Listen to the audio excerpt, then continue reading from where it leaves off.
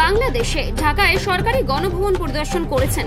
অন্তর্বর্তী সরকারের ডাক ও টেলি যোগাযোগ বিষয়ক উপদেষ্টা নাহিদ ইসলাম, যুব ও ক্রীড়া বিষয়ক উপদেষ্টা আসিফ মাহমুদ এবং গৃহায়ন ও গণপূর্ত উপদেষ্টা আদিলুর রহমান খান। শনিবার দুপুরে গণভবন পরিদর্শন করেন তারা।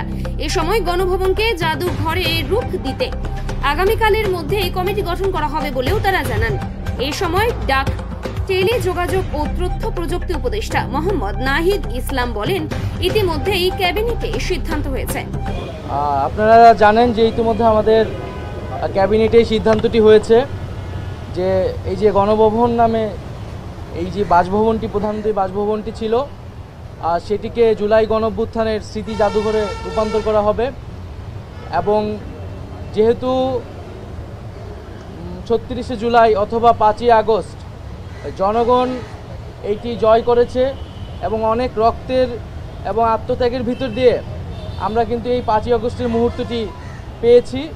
ফলে সেটি জনগণের জন্য উন্মুক্ত করে দেওয়া এবং জনগণের বিজয়কে ধারণ করে রাখার উদ্দেশ্যেই এই এই গণভবনকে জাদুঘরে পরিণত করা হবে এবং এটি শুধু বাংলাদেশেই নয়, আমরা পৃথি- পৃথিবীর বুকে একটি নিদর্শন হিসেবে রাখতে চাই যে যে কোনো স্বৈরাচারী, ফ্যাসিস্ট, খুনি, রাষ্ট্রনায়কদের আসলে কি পরিণত হয় এবং জনগণই যে আসল মালিকানার এবং ক্ষমতার মালিক, সেই বিষয়টিকে একটি নিদর্শন হিসেবে পুরো পৃথিবীর বুকে রাখার জন্যই আমরা এই গণভবন কিন্তু কেড়ে নেওয়া হয়েছিল।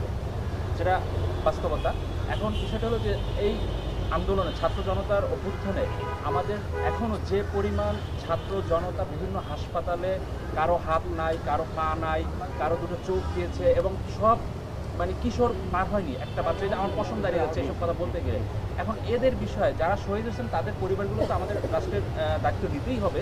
পাশাপাশি এই যে পরিবারগুলা এবং এই যে সুষ্ঠু একটা পরিসংখ্যান আপনারা এবং সুস্থভাবে সমস্ত সারা দেশ থেকে তথ্যগুলো কালেকশন করছেন কিনা এবং তাদের এই মুহূর্তে অনেকেরই দেখা যাচ্ছে বিদেশে চিকিৎসার জন্য প্রয়োজন। নিলে হয়তো তার চোখটা ভালো হয়ে যেতে পারে।